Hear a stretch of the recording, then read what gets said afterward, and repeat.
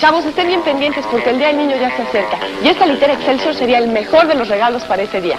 Esmaltada a fuego. Tiene una escalerita sensacional y además está comodísima. De 960 mil a 595 mil pesos. Atención mamás, ya viene el 10 de mayo, hay que quedar muy bien con los hijos. Vaya a buscarla en cualquiera de las cuatro sucursales de Hermanos Vázquez.